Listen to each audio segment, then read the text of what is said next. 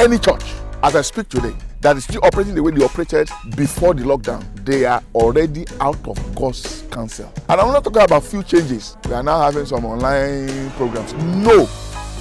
When I say the war of resets, I'm talking about a war between two kingdoms, a war between two nations, God and Satan. Every other investment that's not in the kingdom, they will speak against you in the days to come. You will wish you had done more for the kingdom. You will wish you had done more for the stones of Zion.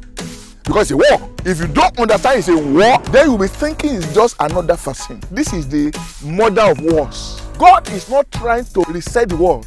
The reset God is trying to do is the church. But because the church is still in the world, Satan is saying you can't because I'm still in charge of the world. It's time to fight.